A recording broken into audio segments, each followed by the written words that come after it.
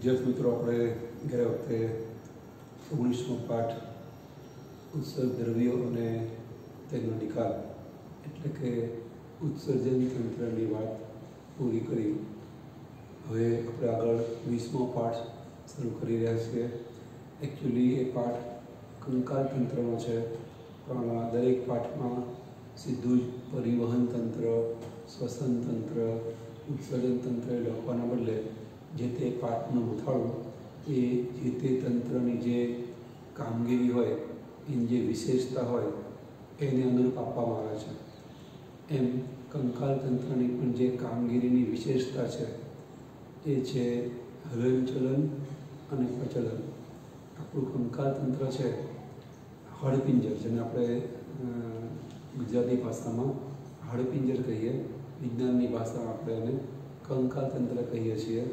તો એની વિશેષતા એ છે કે જેને કારણે પ્રાણીમાં હલનચલન એટલે કે મૂવમેન્ટ અને પ્રચલન એટલે કે લોકોમોશન એ શક્ય બને છે. તો એ કંકાતંત્રની મુખ્ય વિશેષતા છે. જો હાડકાં અને એમાં જીવા મળતા સાંધાઓ એ ના હોય તો વ્યક્તિનું અથવા પ્રાણીનું હલનચલન એ પ્રચલન એ શક્ય નહિવત જેવું થઈ જાય બધાની અથવા નહિવત શક્યતા થઈ જાય. તો એ તંત્રનું એટલા માટે મથવાડું છે. હલનચલન અને પ્રચલન. લોકોમોશન એન્ડ મૂવમેન્ટ પ્રચલન અને હલનચલન. પહેલાં આપણે એવું જોઈએ કે હલનચલન અને પ્રચલનમાં ફેર શું છે? આમ આપણને બંને પ્રથમ નજરે સરકાર લાગે. અને પ્રચલન બધું હલનચલન હલતું ચાલતું હોય બધું હલનચલન કહેવાય પણ થોડુંક એમાં ફેર છે આપણે જો કે એ બે મથાળાના ફેર સાથે આ પાઠમાં કંઈ મતલબ નથી આવો પણ છતાંય આપણને આ નીચે મથાળો તો આપણે સમજવા પ્રયત્ન કરીએ કે હલનચલનને પ્રચલનમાં ફેર શું તો ઉડીને આંખે વળગ્યો મોટો મોટો ફેરે કે પ્રાણીની એવી પ્રકારની ગતિ પ્રાણીની, એવી પ્રકારની ગતિ કે જેમાં સ્થાન ફેર ન થાય.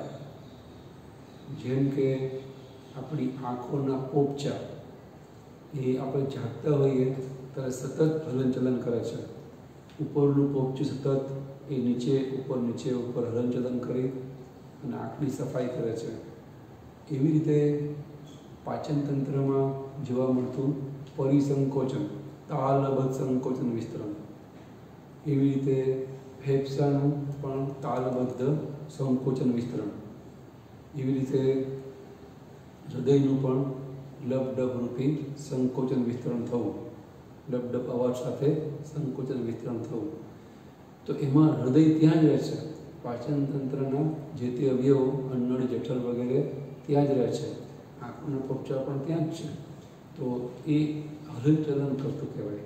એની અંદર ગતિ ના થાય, સ્થાન ફેર ના થાય, એવી ગતિ જેના કારણે સ્થાન ફેર ના થાય, તો આપણે બધાને કહીએ છીએ હલનચલન પછી પક્ષમોનું પણ હલનચલન કહેવાય. પક્ષમોના કારણે જે કંઈ થાય એ હલનચલન કહેવાય. એ પક્ષમોના હલનચલન કે પક્ષમોની ગતિને કારણે સ્થાન ફેર ના થાય. બરાબર? તો એ આવશે હલનચલન પ્રચલનનો મતલબ પ્રાણી શરીરની સોરી પ્રાણીની એવી ગતિ કે જેમાં સ્થાન ફેર થાય. પ્રાણીની એવી ગતિ જેમાં સ્થાન ફેર થાય. તો આપણે એને કહીએ છીએ પ્રચલન એના પણ ઘણા બધા ઉદાહરણ તમે આપી શકો ને ચાલવું. એમાં પ્રાણીમાં સ્થાન ફેર થાય જ. પછી જળચર પ્રાણીઓ તરવું. માટલી તરે એટલે એક જગ્યાએ, બીજી જગ્યાએ જાય. દેડકા જેવા પ્રાણી માટે જમીન ઉપર હોય ત્યારે કૂદવું દેડકા કૂદીને સ્થાન ફેર કરે છે. એવી રીતે પક્ષીઓની વાત કરે તો ઉડે છે. ઉડવું એ પણ પ્રજનનનું ઉદાહરણ છે. સાપ જેવા પ્રાણીઓ માટે સરકવું એ સરકીને સ્થાન ફેર કરે છે. તો આવી રીતે ચાલવું, દોડવું, કૂદવું, સરકવું, ઉડવું, તરવું આ બધા જે ઉદાહરણો છે એમાં પ્રાણી શરીરની એવી ગતિ થાય જેમાં એ સ્થાન ફેર પામે. તો એને કહેવાય પ્રચલન. તો ટૂંકમાં ગતિ દરમિયાન સ્થાન ફેર ન થાય તો હલનચલન. ગતિ દરમિયાન સ્થાન ફેર થાય તો પ્રચલન. આપણી ઉપર ફરતા પંખા છે, છત ઉપરના ફરતા પંખા. એ હલનચલનમાં આવે. નિર્જીવ છે, પણ એ હલનચલનમાં આવે. કારણ કે એ ગતિ કરે છે, પણ સ્થાન એમનું જાળવી રાખે છે. તો આવી રીતે સ્થાન ફેર વગરની ગતિ, હલનચલન અને સ્થાન ફેર સહિતની ગતિ એટલે પ્રચલન. તમને સમજાયું છે. આપણે એટલા માટે નોંધ કરતા નથી, પણ હું નોંધ કરતો નથી. તમારે તમારી નોટબુકમાં આ જે કંઈ હું બોલી ગયો, એને ટૂંકમાં સરસ નોંધ કરવાની. હલનચલન એટલે શું એની? એના ઉદાહરણ લખવાના. આંખોના પોપચા હૃદયનું ધબકવું વગેરે. બે ઓછા ઓછા એક્ઝામ્પલ લખો. એના પછી પ્રચલનની વ્યાખ્યા લખો જે પણ બોલી ગયો એ. તો વીડિયો ફરી આપ પાંચ દસ મિનિટનો રિવાઇન્ડ કરીને ફરી સાંભળો. અને એમાં પણ ઉદાહરણ લખો દોડવું ચાલવું વગેરે.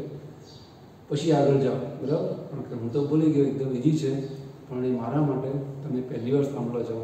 કદાચ સત્ય બને કે મહિના પછી ભૂલી પણ જાઓ. હલનચલનને ચલનમાં સાહેબે કંઈક ફેર કીધેલો એટલું યાદ રહે. પણ શું ફેર કીધેલો યાદ ના રહે. લખેલું હોય તમે એને વાંચી શકો. થોડું આવી તમારી ભાષામાં નોંધ કરો. તમારી ભાષાની તમારી નોંધ એ કાયમી તમારી થઈ જાય. તમને યાદ રહે. બીજી વાર ખોલો એવું તમને યાદ આવી જાય. અથવા કદાચ ભૂલાય નહીં હોય. તો આ છે હલનચલનનો અર્થ અને એના ઉદાહરણ. હવે હલનચલન શરીરમાં ત્યાં જ થાય. જ્યાં મોટા ભાગે સ્નાયુ આવેલા હોય. કારણ કે આપણે સાતમા પાઠમાં પ્રાણી, પેશી અને એને આધારિત આપણે ત્રણ પ્રાણીઓ જોયા હતા. અળસિયું, વંદો અને દેડકો. તો એની અંદર આપણે એ પ્રાણી પેશીમાં સ્નાયુ પેશી સમજ્યા હતા. મુખ્ય પ્રાણીમાં ચાર પેશી હોય. અધિચ્છદ, કંકાલ સંયોજક પેશી સ્નાયુ પેશી અને ચેતા પેશી. એમાં સ્નાયુ પેશીની વાત પણ આપણે કરી હતી. તેમાં આપણે કીધું કે દરેક પેશીની એક લાક્ષણિકતા હોય છે. અધિચ્છદીય પેશી હંમેશા અંગોની ફરતે આવરણ કરે, આચ્છાદન કરે એટલે એને પેશી કહેવાય. ચેતાપેશી હંમેશા ઉર્મિવેગને ઉત્પન્ન કરી એનું વહન કરે અને એનું અર્થઘટન કરે. સંયોજક પેશી અંગોને સાંકળે, આધાર આપે આકાર આપે વગેરે. જ્યારે સ્નાયુ પેશી છે એ હલન ચલન સાથે અને પ્રચલન સાથે સંકળાયેલી પેશી છે. કારણ કે એની અંદર સ્નાયુ પેશીના સ્નાયુ કોષોમાં સંકોચન વિસ્તરણનો ગુણધર્મ રહેલો છે.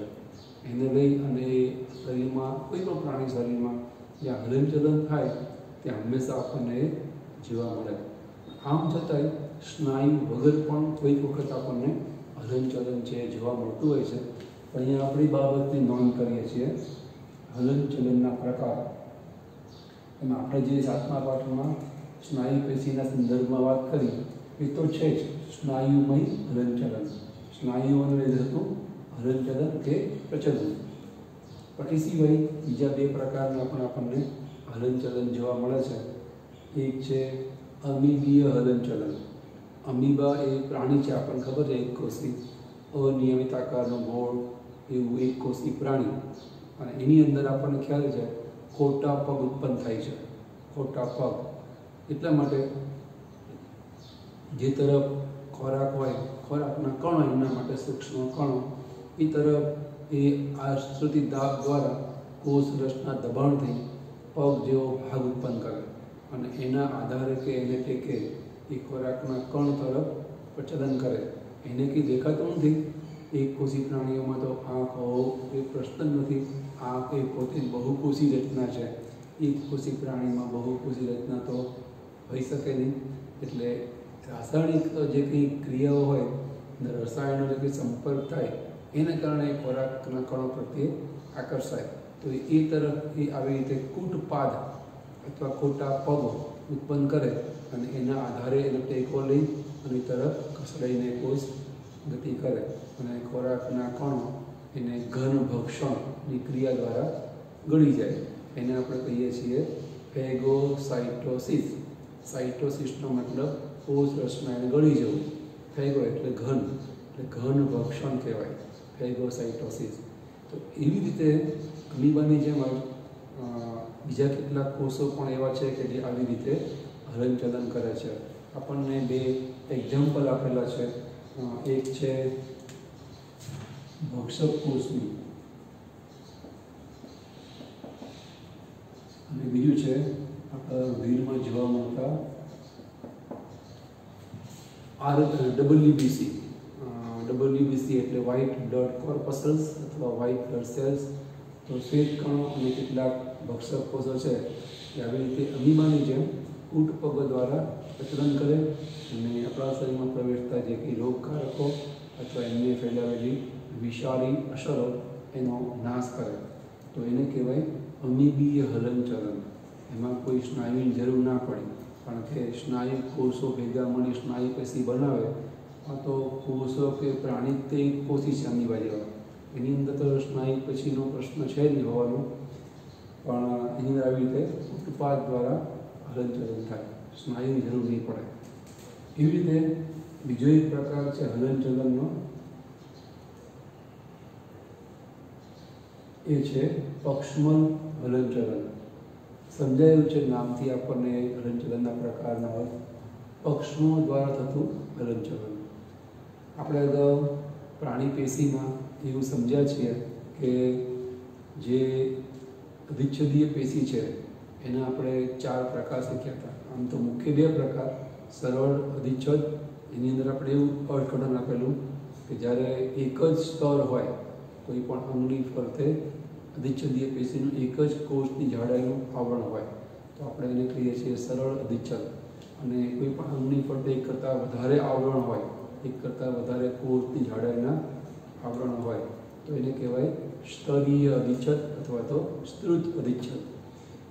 સરળ અધિચ્છદ છે, એક જ કોષની જાડાઈની પેશી, અધિચ્છદીય પેશી, અથવા એક જ પળની અધિચ્છદીય પેશી, એને આપણે કહીએ છીએ સરળ અધિચ્છદ. એના રચના અને કાર્ય પ્રમાણે ચાર પ્રકાર આપણે જોયા હતા. જો તમે ભૂલ્યા ના હો તો તમને યાદ આવી જશે. લાદિસમ ઘનાકાર, સ્તંભીય અને પક્ષમણ એમાં આપણે પક્ષમણની અંદર એવી સમજૂતી આપેલી કે જે સરળ અધિચ્છદ પેશીઓના જે કોષોનું એક સ્તર છે કોષોના મુક્ત સપાટી ઉપરથી અસંખ્ય રોગમય પક્ષમાં ઉત્પન્ન થાય. એટલે આપણે એને કહીએ છીએ પક્ષમલ અધિચ્છદીય પેશી. એ પક્ષમલ પેશીના કોષોની વચ્ચે વચ્ચે ક્યાંક ક્યાંક આપણને શ્લેષ્મ સ્ત્રાવી કોષો જોવા મળે. એ શ્લેષ્મ સ્ત્રાવી કોષોના ચીકણા શ્લેષ્મીય સ્ત્રાવનો ઉપરની બાજુએ પ્રસારણ થાય. એટલે એ ભાગ ચીકણો અને પક્ષમળના હલનચલનથી જે કંઈ વહન થાય એ ઘર્ષણ રહિત વહન થાય. અને પક્ષમળને કારણે વહન શક્ય બને. આવું કંઈક આપણે એમાં જોયું હતું. તો આ જે પક્ષમલ હૃદચલન છે, એ આપણને મોટાભાગે શ્વાસ નળીમાં જોવા મળે, અંડ વાહિનીમાં જોવા મળે. જે અંડકોષ છે, એને પક્ષમલ હૃદચલનથી આગળની તરફ ધકેલવામાં આવે છે. શ્વાસમાં જે ઘન કણો છે, ધૂળના રજકણો એને ઉચ્છ્વાસમાં બહાર કાઢી નાખવા માટે પક્ષમલ પેશીનો વાળો ઘણો મોટો હોય છે. અંદર શ્વસન માર્ગમાં જે પક્ષમાં પછીના પક્ષમો છે, એ એના હલનચલનથી ધૂળના રજકણો કે ઘન કણો છે, જેને આપણે એસપીએમ તરીકે ઓળખીએ છીએ. એસપીએમનો મતલબ થાય suspended particulate matter suspended particulate matter matter એટલે કે હવામાં તરતી ઘન અશુદ્ધિ. એનું ગુજરાતીઓ કરી શકાય. એ આપણે શ્વાસમાં લઈએ, પણ એ અંદર ઠરે અંદર સ્થિર ના થાય, જામી જાય નહીં. નહીતર ફેફસાની જે કાર્યક્ષમતા છે, એની અંદર માટી અસર પડે. એટલે કુદરતે ત્યાં આ પક્ષમળ પેશી મૂકી જાય. જે પક્ષમાં જે નરિયા દેખાય નહીં આપણને, પણ એ પક્ષમોના હલનચલનથી એ બહારની બાજુ ઉચ્છવાસમાં પાછા નીકળી જાય. તો એને કહેવાય પક્ષમલ હલનચલન. એના પછી ત્રીજું જે આપણે સર્વતમાં વાત કરીએ છીએ, સ્નાયુમય હલનચલન. પ્રચલન પણ સ્નાયુને કારણે શક્ય બને છે. તો સ્નાયુની હલનચલનનો મતલબ સ્નાયુની મદદથી જે પ્રકારનું હલનચલન શક્ય બને એ.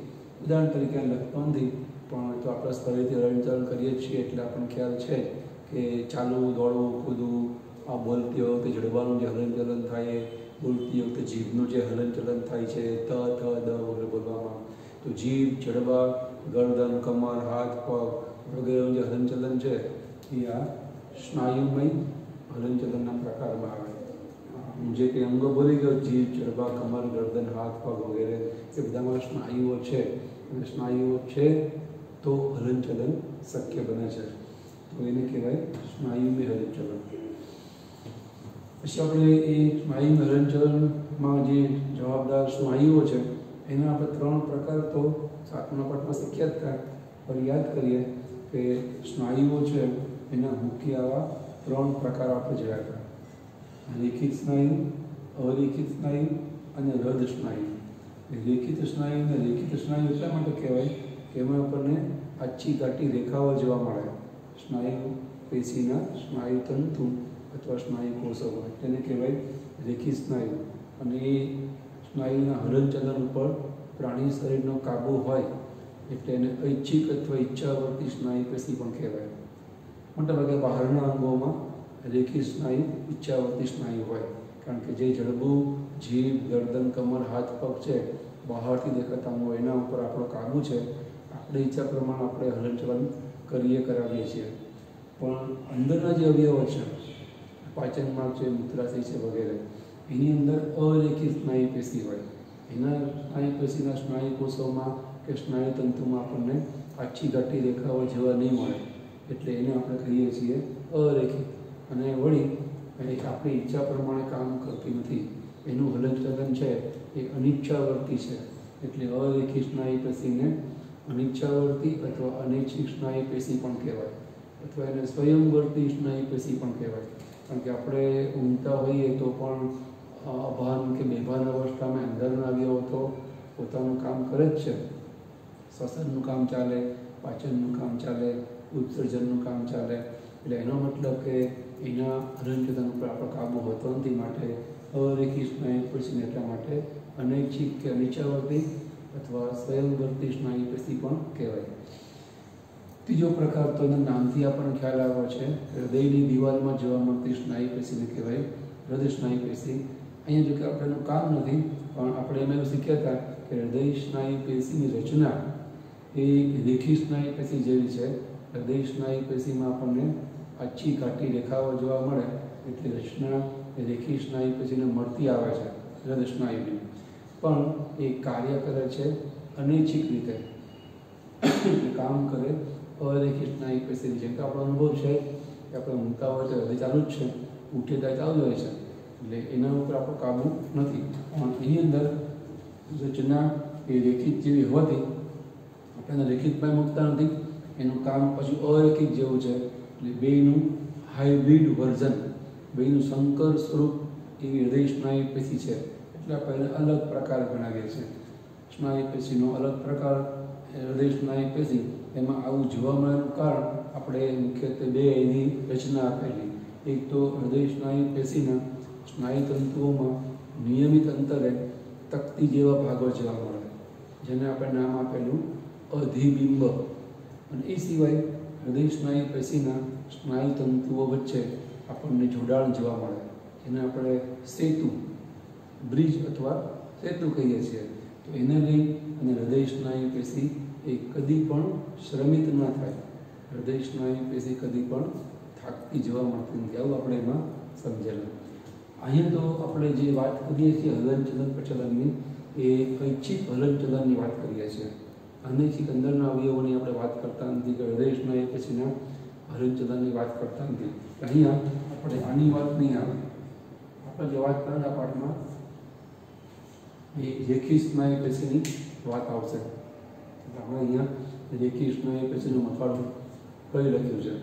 આપણે રેખી સ્નાયુ પેશીની રચના છે એ અગાઉ સમજ્યા છીએ કે રેખી પેશીમાં અચ્છી ગટી રેખાઓવાળા સ્નાયુ તંતુઓ હોય, એ રચના કેવી હોય? આપણે રચના કરીએ અને અહીંયા આપણે આ પાઠની અંદર થોડી વધારે ડિટેલ રચના સમજવાની આવશે. પણ આપણે પહેલાં જે શીખ્યા છીએ એટલું યાદ કરીએ. તો જે આ માનવીનો હાથ છે, એ હાથની અંદર આપણે અહીંયા આટલો કાપો મૂકીએ. અમુક આ માનવીનો હાથ અથવા ભૂજા છે. એમાં આપણે ચામડી માટે કાપા મૂકીએ. તો એની અંદર આપણને ઘણી બધી અ, માઉસ પેશી દેખાય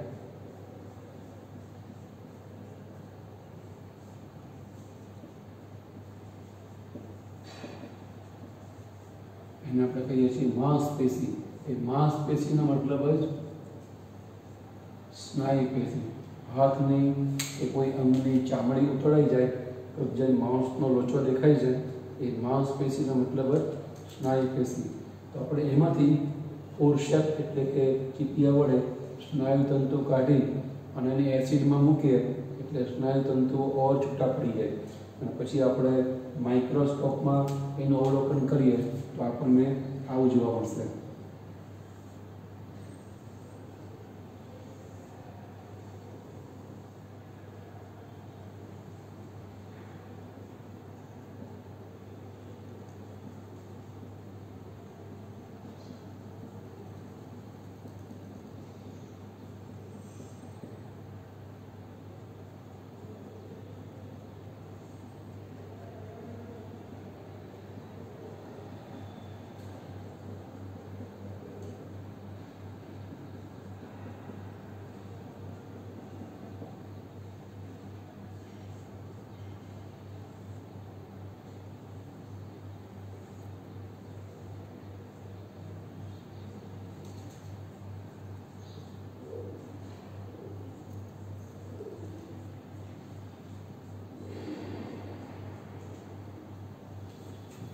આ રીતે એકદમ માઇક્રોસ્કોપમાં સૂક્ષ્મદર્શકની અંદર કમ્પાઉન્ડ માઇક્રોસ્કોપ સંયુક્ત સૂક્ષ્મદર્શકની અંદર, એમાં લો પાવરમાં તમને આવું દેખાશે.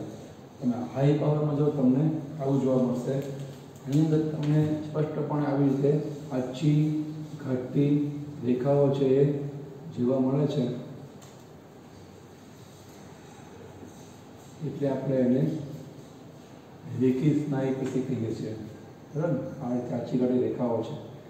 હવે તમે થોડું મોટું કરીને જુઓ ને, તો ખ્યાલ આવે કે એ રેખા સળંગ નથી. એ રેખા તૂટક છે. ડોટ ડોટ ડોટના રૂપમાં છે. આપણે અહીંયા મોટું કરી બતાવ્યું છે. તો ખ્યાલ આવે, થોડું મોટું ને ખ્યાલ આવે કે એ રેખા એકદમ મને નાનું કરી દો. તો આપણને આપણા ટપકાઓ જોઈન્ટ થઈને સળંગ લાઈન હોય લાગે. એ સળંગ લાઈન લો પાવરમાં આપણને દેખાય. હાઈ પાવરમાં તમે મોટું કરી જુઓ ખ્યાલ આવે કે રેખાઓ છે એ સળંગ નથી, પણ તૂટક તૂટક રેખાઓ છે. તો જે આ ઘાટી રેખાઓ છે, એને આપણે કહીએ છીએ એ બિંબ. જે આ આછી રેખા છે, આપણે એને નામ આપેલું આઈ બિંબ. એના આપણે આકાર નામ પણ આપેલા. તમને યાદ આવે એટલે ફરી લખું છું. આઈ બિંબ છે, એના આપણે આપણે આઈસો ટ્રોપિક બિંબ.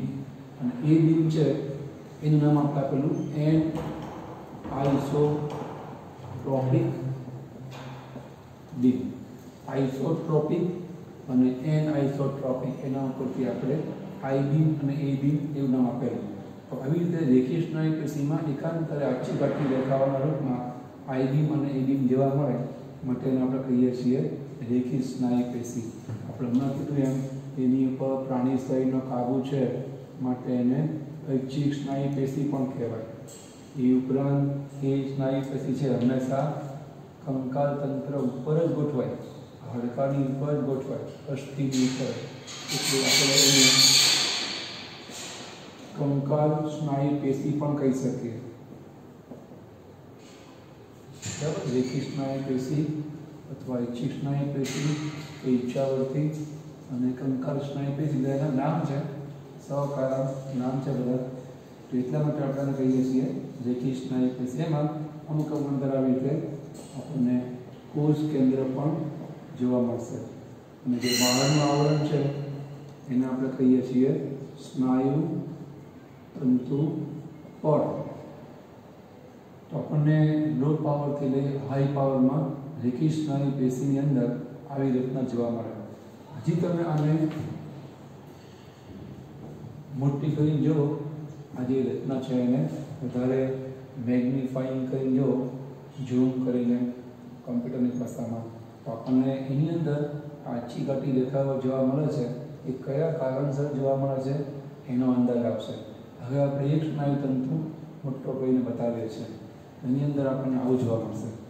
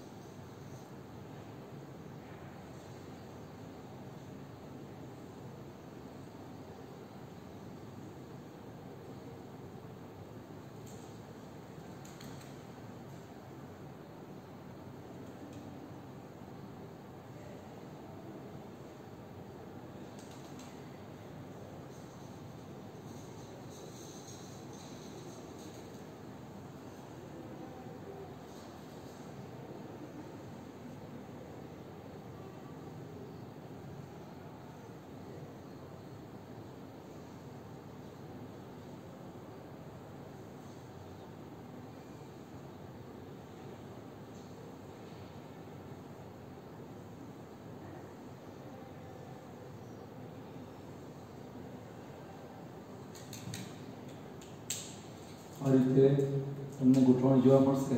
જેને કારણે તમને ખ્યાલ આવે કે આછો ભાગ આછો કેમ દેખાય છે અને ઘાટો ભાગ ઘાટો કેમ દેખાય છે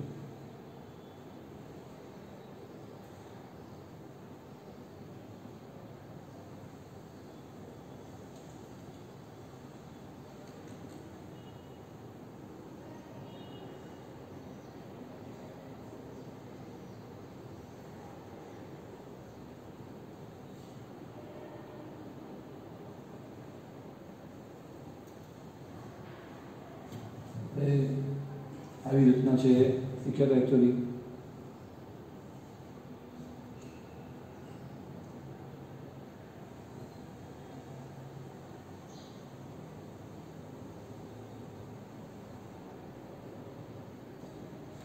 જેથી મેં યાદ આવતું હોય તો. યાદ ના આવતું હોય, સાતમા પાઠની નોટબુક ખોલી અને એમાં જો દાવથી બતાવવાનું. અહીંયા સ્નાયુતંતુ છે, એ આપણને બતાવી આવે સૌથી બહારનું.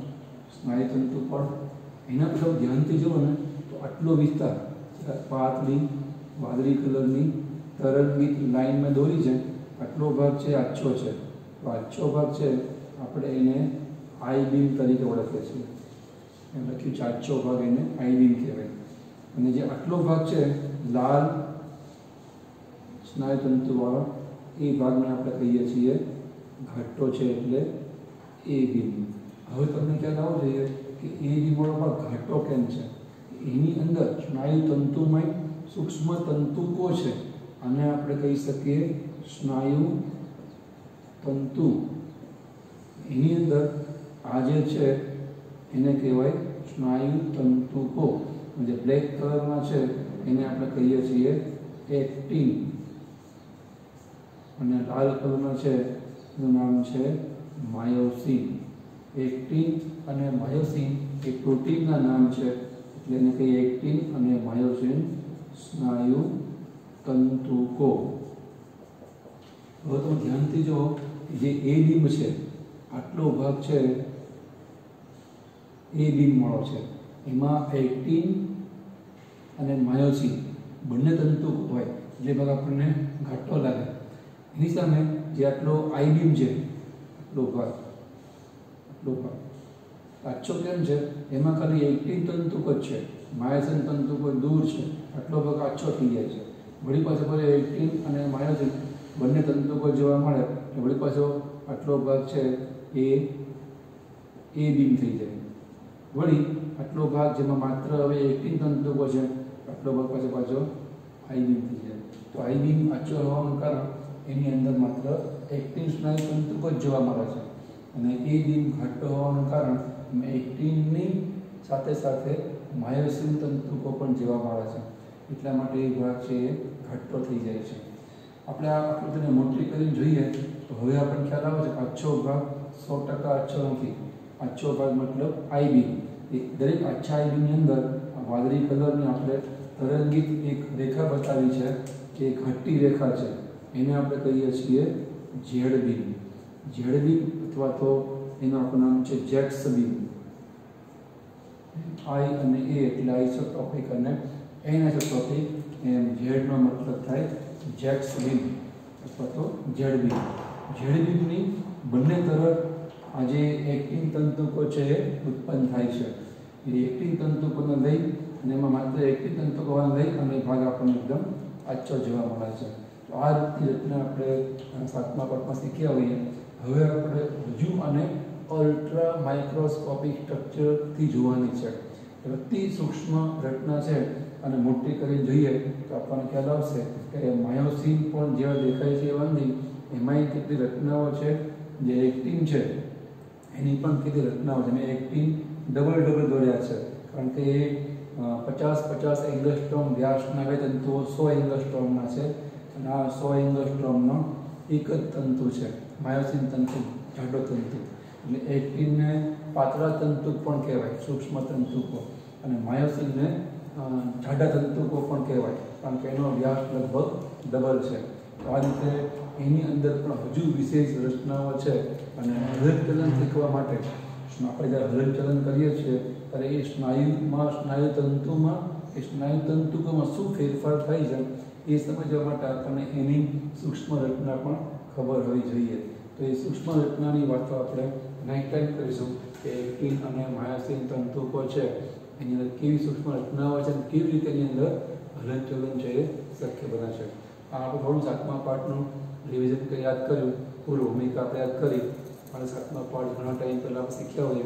યાદ ના હોય એટલે આ પાઠમાં પણ એમને થોડું રિવિઝન આપ્યું છે. તો આપણે થોડું રિવિઝન કર્યું. જો કે ગોળના કોષમાં આ સાલ પૂરતો કોવિડ નાઇન્ટીનના કારણે આ પોર્શન નીકળી ગયો છે. પણ આપણને કામ લાગે. આગળના ઉચ્ચ અભ્યાસમાં તે કદાચ નીટ અને જીમાં પણ કામ લાગે. એટલે આપણે શીખ્યા.